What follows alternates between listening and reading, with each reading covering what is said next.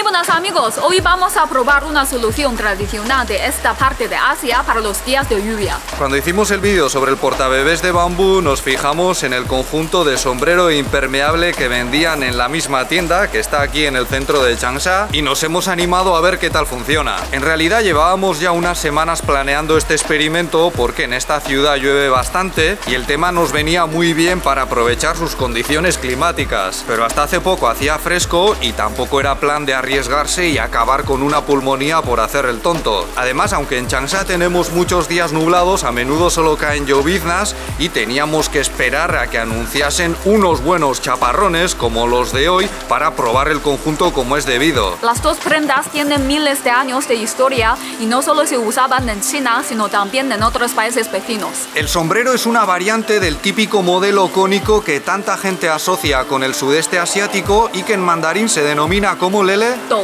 Se puede usar para protegerse tanto del sol como de la lluvia, pero por lo que nos han contado, este en particular está especialmente diseñado para resistir al agua. Ya veis que es muy grande, tiene un ala que te protege prácticamente hasta los hombros y se usa junto con una especie de corona que se adapta a la forma de la cabeza y evita que el sombrero se mueva. Los materiales empleados para su producción son el bambú y hojas de caña o de junco. En cuanto al impermeable, ¿cómo se llama en mandarín, Lele? Soy Y está hecho con las fibras de la corteza de las palmeras, aunque en el pasado también se utilizaba paja de arroz, que era un material muy fácil de conseguir. A mí esta prenda me resulta mucho más curiosa porque es más difícil de ver que los sombreros, que te los puedes encontrar incluso en las grandes ciudades. Es que los sombreros siguen teniendo mucha demanda, por ejemplo, entre las personas que trabajan en la calle porque son muy baratos y funcionan muy bien. Pero los impermeables tradicionales apenas han sobrevivido a la llegada de los que están hechos con materiales sintéticos. Al fin y al cabo, cualquier prenda de plástico te protege mejor contra el agua, pero con ellas se te puede presentar un problema, sobre todo si trabajas duro porque no respiran bien y aunque no te mojes por fuera puedes acabar empapado de sudor por dentro. El impermeable tradicional seguramente no te aísla tan bien, pero permite que el aire corra y es una característica a tener en cuenta. Aunque también es verdad que va soltando fibras y es una prenda que seguramente habrá que rehacer cada cierto tiempo. A ver, una aclaración importante, tanto el sombrero como el impermeable son principalmente objetos de decoración o para disfrazarte y pasar un rato divertido con esta nueva moda de las ropas tradicionales. Y creo que ese es todo el rollo que os teníamos que soltar antes de probarlos. ¿Vamos ya, Lele? Sí. Venga.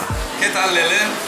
Bueno, bien, pero tengo que andar con un poco de cuidado. ¿Se te mueve el sombrero? Un poco. Vamos a dar un buen paseo por el centro, también lo voy a probar yo y a ver si nos protege o no. Desde luego es el día perfecto para hacer el experimento, ¿eh? Está lloviendo a gusto en estos momentos. ¿Cómo vas, Lele? ¿Notas alguna gotera? De momento no. A lo mejor pensaréis que vamos llamando mucho la atención, pero no es para tanto, al menos no en esta calle, porque es una calle con muchos puestos y parafernalia tradicional. Luego, cuando vayamos al centro y sobre todo cuando me ponga yo el conjunto, ya veremos cómo van las reacciones. Es como llevar un paraguas incorporado, ¿no, Lele? Sí. Yo voy con el paraguas porque aunque la cámara resiste al agua, el micrófono y el estabilizador, no sé yo. Hay que ver qué cosas hace Lele por su cultura, ¿eh? Ay, se me han metido todas las goticas del chubasquero por el cuello. Creo que ahora mismo Lele está mejor que yo. Si os fijáis, los extremos del impermeable de Lele están un poco descosidos. Pero la parte interior está muy bien, que supongo que es lo que cuenta. Yo veo a Lele bastante seca de momento, más que yo. En la tienda ya nos han avisado que el chubasquero no es de verdad, que los que usa la gente en el campo son mucho más gordos. Pero yo creo que junto con el sombrero va muy bien. Qué guapa, pareces una modelo, Lele. Mira cómo te mira el señor. A la gente le llama la atención, pero tampoco es para tanto, porque no es la cosa más rara que se ha visto en esta calle ni de lejos. Aquí no es nada raro que cada tarde o cada noche vengan jóvenes y no tan jóvenes a hacer pequeños espectáculos o directos. Y esto vale, es curioso, pero tampoco nos vamos a flipar. Es que claro, hoy con la lluvia tampoco hay demasiada gente en el centro. Vale, ahora es mi turno, a ver qué tal. Como Javierto es muy cabezón, hemos tenido que hacer un poco más de esfuerzo para incrustar la corona y el sombrero, pero ahora me siento muy a gusto. El sombrero pecha, pero noto que está bien fijo. Y llamo la atención, ya veis. Si acerco mucho la cámara, casi casi puedo bloguear con ella bajo el sombrero. Espero no sonar ofensivo, pero con esta pinta que tengo ahora mismo me siento como una especie de mexicano asiático. Me dan ganas de cantar aquello de I'm singing in the rain, pero también me da miedo que salte el copyright. ¿En qué tiempos vivimos? Madre mía. El abrigo da mucho el cante, pero la verdad es que el sombrero es una solución muy buena. Me siento muy protegido contra la lluvia, pero habría que ver qué pasa si sale una ráfaga fuerte de viento. A lo mejor salgo volando. Ahora veréis que aquí está la policía pero no pasa nada. O sea, mientras no monte un jaleo muy grande, puedo hacer esta y otras tonterías. Si me pusiese en plan zapata aquí a llamar a la revolución, quizás, pero solo por estar así haciendo el ridículo con las ropas tradicionales, ningún problema. A ver, una señora muy curiosa, quiere sacarse la foto conmigo. Algunos de los que se han parado a hablar con nosotros nos han dicho que en el norte no utilizan la corteza de las palmeras, sino la paja de arroz.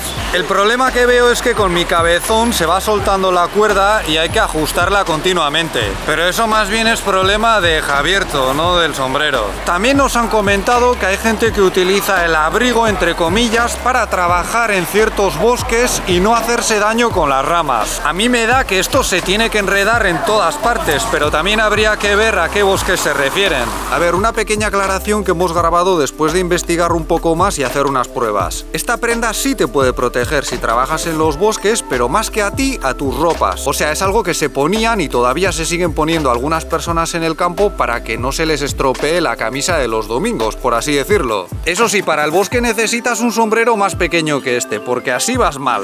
Y luego una cosa a la que sí le vemos lógica es que se puede utilizar para dormir o echar una siesta a la intemperie. Cuidado, esto también lo hemos probado. Me he echado unos minutos aquí en un rincón bien húmedo del bosque y aunque ya os digo que no ha sido demasiado tiempo, tampoco se me ha humedecido la ropa. Y cómo no, justo cuando estábamos haciendo la prueba han tenido que pasar dos vecinos que se han quedado bastante extrañados, aunque luego les hemos explicado lo que estábamos haciendo y resulta que ellos también tenían algo de información.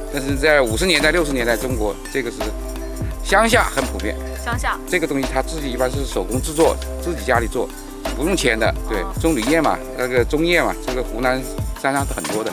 El sombrero y el abrigo nos han costado 15 euros, unos 18 dólares, pero en el campo es mucho más barato. Y seguramente de mejor calidad. Lo que pasa es que ahora es bastante complicado encontrar el impermeable incluso en el campo. Pero yo creo que este, pese a ser de mentira, para hacer un poco el tonto, funciona bastante bien. La gente de nuestro barrio está bastante familiarizada con estas ropas. Hemos hablado con un conocido y nos ha dicho que él de pequeño utilizó tanto el sombrero como el impermeable. Y además nos ha hablado 这这也是底下是木头哎上面是那个牛皮。牛皮呢？哎底下钉的有铁钉。哎有这么高可以嘎嘎走起来好响还但是您小时候您家里也有？有。您穿过？穿过。就是您您多大的时候穿过这个？我啊嗯。十十几岁。十几岁。十七八岁。Otra vecina más que dice que lo utilizó de pequeña. Nos ha contado que cada miembro de la familia tenía uno y que podían llegar a pesar más de 5 kilos fácil. Una vez más ha insistido en que los auténticos son más gordos y que se quedan así bien tiesos. También ha dicho que el sombrero es demasiado grande y es verdad. Con uno más pequeño vas mucho más cómodo y funciona casi igual de bien. Otra cosa importante que tenemos que decir, ningún sentimiento chino ha resultado herido al realizar este experimento. Al contrario, en general las reacciones han sido muy positivas. Por lo visto esta prenda también ha aparecido en algunas series o películas de Kung Fu. En plan, el tío que parece un don nadie, pero al final es un maestro que te mete una paliza tremenda. ya verás cuando me vean mis estudiantes haciendo el tonto en la ciudad. Me van a despedir.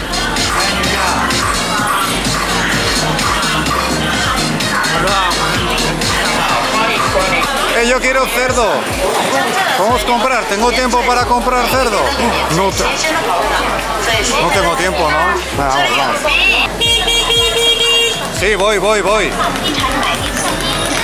¿Qué pasa, señora? ¿No ha visto nunca a un occidental haciendo el ridículo en China? Pues acostúmbrese. ¡Ay, que viene el viento! Javierto va a despegar, cuidado. ¡Eh, eh! Dicen, qué guapo está con el sombrero, ¿a que sí? Dicen que estoy tremendo, buenísimo.